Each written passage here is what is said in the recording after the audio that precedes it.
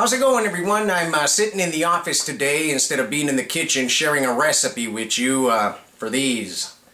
Yeah, some uh, pickled uh, yellow banana peppers that I made. Like I said, I'm sitting in the office because I'm just going to explain to you how to make these. It's uh, fairly simple.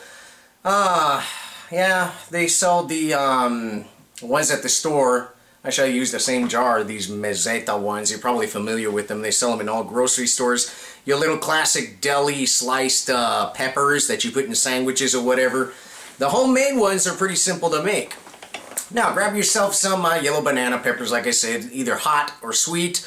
Cut them one-fourth of an inch thick. You want a pound of them, and uh, I'll post the recipe below in the video description. I'll just explain to you right now how to make them. Grab yourself three cups of uh, vinegar, white vinegar, two cups of water, two tablespoons of kosher salt, one tablespoon of sugar, and I guess that's it. Excuse me, I'm trying to remember in my head what I did yesterday. Yes, exactly that. Put everything in a saucepan, bring it up to, not a boil, just heat it up enough to dissolve the salt and the uh, sugar. Let the mixture cool down.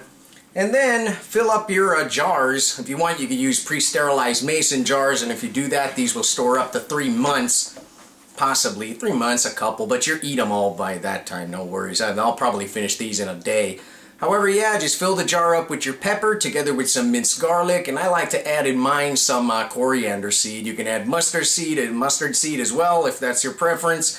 And then pour your uh, vinegar and water mixture in the jar. Close it, let it sit for about 24 hours. Remember, pour the mixture in cold. And after that, you're ready to eat them. Like I said, you got sterilized mason jars. They can store for a pretty long time, but I bet you you're not going to be uh, waiting all that amount of time to eat them because, uh, yeah, these are pretty nice. Mmm.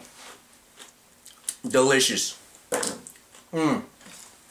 I tell you, these things are addictive. They should be sold on the street like crack cocaine. However, Pete, put yeah, she ate some too. She got the vinegar thingy and the hot thingy going like, you know. Uh, yeah, however, ah, I hit one that's pretty hot. Like I said, you could get yours, uh, ah, hot or, uh, or mild or sweet, however you like them. But just feel free to experiment with them. They're pretty fun.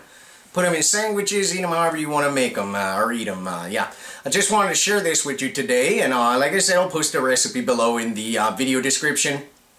And I'll get back to you with, I guess, another vegan uh, Gardein uh, product review. I have another one in the works, and uh, this one's a new product I found at the store. Never seen this one before. It's some Asian chickenless chicken thing with sauce or something like that.